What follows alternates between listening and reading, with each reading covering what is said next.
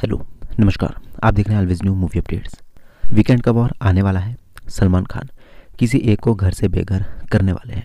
लेकिन उससे पहले मैं बता दूँ वोटिंग ट्रेंड सबसे लास्ट में चली हुई है सोनाली फोगाट। जी हाँ दोस्तों, कुछ खास इन्होंने किया ही नहीं जब से घर के अंदर आई हैं। आरशी सेकेंड लास्ट में जा चुकी है। इसका कारण एक था कि इन्होंने भी ये कुछ शांत बैठ गई हैं। एक तो झगड़े इनके हुए थे, लेकिन वो भी कुछ नहीं।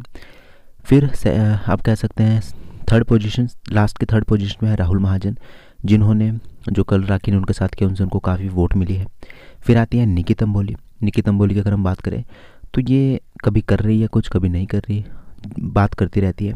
राखी सावंत, उन्होंने काफ़ी एंटरटेन किया। पहले वो थोड़ा हाई थी, लेकिन पिछले जो उन्होंने कुछ दो तीन वाक्य किए, उससे थोड़े डाउन हो गई हैं। अभिनव शुक्ला हाई पे आ चुके हैं, क्योंकि उन्होंने जिस तरह से जासमिन को कहा कि चुप करो इरिटेट मत करो राखी को, वो उनको काफ़ी फ़ायदा देगा और रुबीना के फैंस भी उन्हें वोट कर रहे हैं। फिर ऊपर है, उससे ऊपर है एजाज खान। ये होनी थी, ये थोड़ा डाउन आए हैं, ये हम कह सकते हैं, क्योंकि इनकी फ़ैन फॉलोइंग अच्छी खासी थी, लेकिन पिछले एक हफ़्ते से इन्होंने कुछ भी घर में खास नहीं किया है।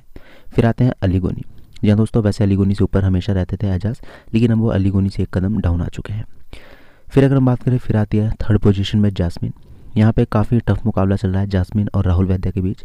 दोनों ही टक्कर के मुकाबले में हैं। सेकंड पोजीशन पे आते हैं राहुल वैद्य।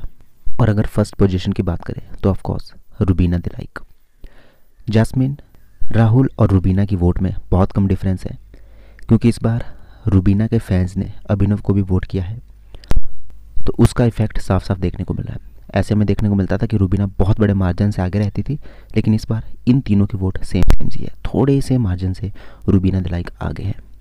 इसी तरह से लेटेस्ट अपडेट जानने के लिए सब्सक्राइब करें बेल आइकन को प्रेस करें। धन्यवाद।